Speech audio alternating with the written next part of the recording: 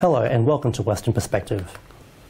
This week on the program, coal has been the staple of Australia's energy industry, fueling homes and businesses across the country. But as Australia looks towards a future away from coal and more towards renewables, hydrogen has become a potential energy source for Western Australia. So is there hope for a renewable hydrogen industry in the state? We investigate if it could be the answer for the future of WA's energy sector.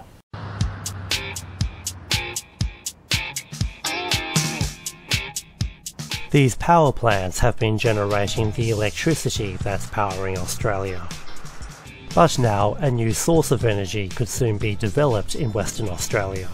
Hydrogen presents an excellent transition fuel for the state of Western Australia. Hydrogen energy has placed WA at the centre of the global renewable energy boom, with the potential development of the energy source by the state.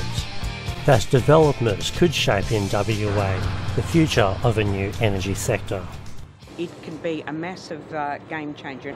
Late in August, WA state government announced plans to develop renewable hydrogen as a new energy source at the state's Renewable Hydrogen Conference. Regional Development Minister Alannah MacTiernan says the production of hydrogen fuel is a first for the state.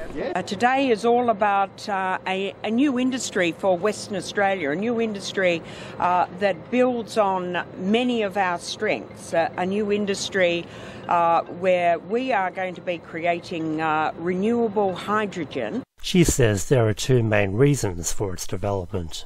We know uh, that our trading partners in uh, our trading partners in Japan and Korea in particular have said that they want to move uh, to a carbon free energy source. We also see it as a great opportunity in regional Western Australia uh, to drive down power prices uh, for our own internal use, which is going to help us uh, drive uh, economic um, diversification in the Pilbara and, and Midwest and the goldfields.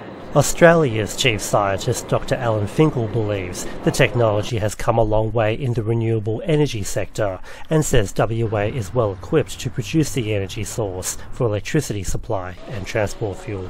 Hydrogen for energy, for transport and heating, has been talked about literally for 50 years or more.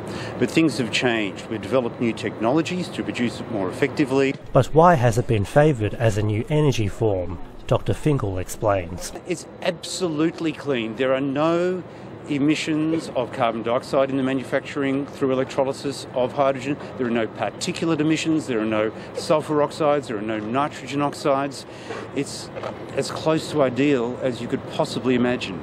Energy expert Dr. James Eggleston says it's a significant shift, with water and land available to produce it. It's a perfect transition away from emissions intensive um, LNG and gas exports, building on using those strengths from science, technology, engineering and mathematics to then uh, produce hydrogen instead. However, he says it will be more expensive than pure renewable energy. There is a processing cost for producing hydrogen, and ostensibly because the hydrogen itself is created using renewable electricity, the state government has the support of companies including Woodside and countries Japan and Korea to produce hydrogen, but admits WA is behind other states in development. But they believe it can be produced as a successful alternative renewable energy source. We are better placed than any other state in Australia uh, to deliver uh, to these new markets and to deliver to uh, uh cheaper power to Western Australia. And that's all for this week's WP. We'll see you again next time. But for now, it's back to you, Ivan and Danielle. Nelson, thank you very much. This week's main news again. A driver found guilty of a horrific collision that fatally injured her friend passenger has been allowed to keep her license while she waits for her sentencing. Ministers believe the magistrate's judgment call was disappointing and that all drivers should take more care on our roads. And that's our weekly news and current affairs. For all the latest happenings, you can visit our website and our Facebook page. From Daniel, myself, and the rest of the team until 8 o'clock next Sunday, a very good evening to you. Good night.